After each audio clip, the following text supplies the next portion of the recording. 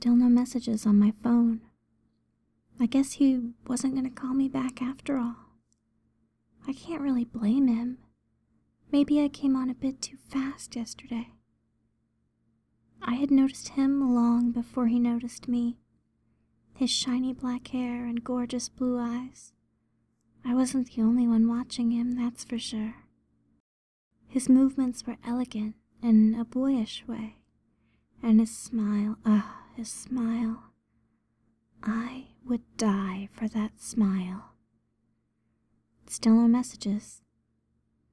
I thought about calling him, maybe apologize for going too fast yesterday. I'm a coward, I know, but I just couldn't bring myself to dial his number. Besides, he promised he'd contact me when he was ready. So, I'll wait. I'm patient. I know, I'll just casually stroll past his house just to see if he's home. Maybe he's out. That would explain why he wouldn't call me yet. He only lives about a half an hour away anyway. Maybe he's shy and is scared to call me. Silly boy. I'll go to him and tell him that he doesn't have to be scared. I don't mind if he needs time. He lives on a pretty secluded farm on the outskirts of town. I can hear the sheep in the stables as I approach. My heart skips when I see there's lights burning inside. He must be there. He told me yesterday that his parents would be gone for the entire weekend. They left him to look after the sheep for all those days. Poor baby, that must be hard work. He was probably just too busy to call me. I'll have to stay here until his parents come back and help him take care of all those sheep. I knock on the door, but he doesn't answer. Maybe he fell asleep.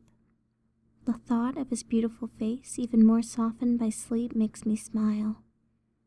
I try the door, and it's unlocked.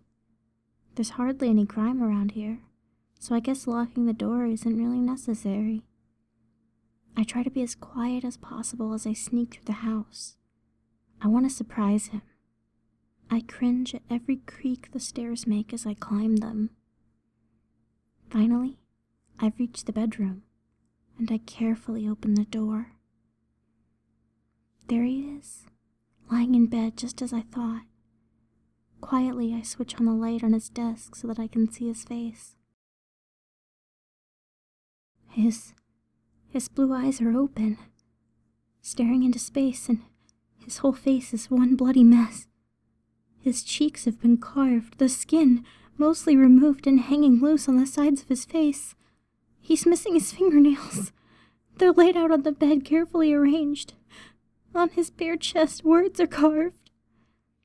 I look at him, my hands covering my mouth.